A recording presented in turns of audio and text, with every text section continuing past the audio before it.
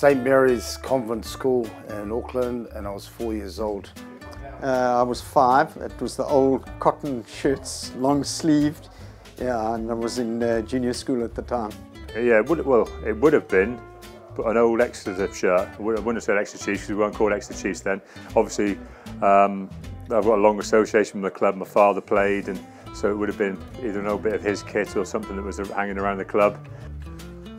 Oh, probably about eight. Um, and believe it or not, it was a, a Western Province shirt.